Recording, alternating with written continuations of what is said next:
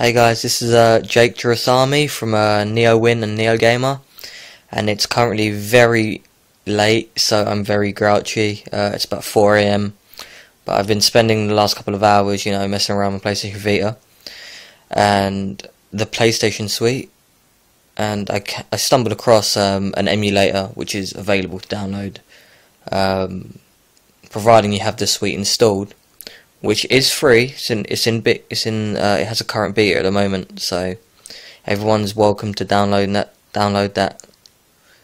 Um, the emulator is called Leaf, and it's a NES emulator. Um, but I think you'll get the idea from when I start playing that it probably isn't worth it, but it's the first native emulator on the PlayStation Vita, so although it's unbearably slow, which we'll see in a minute, um, it is a breakthrough development phase, I guess. Yeah, you can see that you probably wouldn't be able to play um, Mario.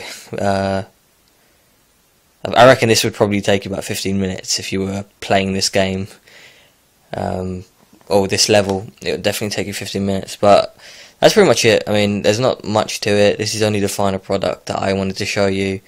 Uh, the write-up for this um, video will be on NeoGamer, so feel free to read that. And uh, I'll probably post this on Reddit as well. So, yeah, that's pretty much it. Um, sorry if my voice is a bit annoying. It is very late, like I said. Um, but yeah, thanks for watching.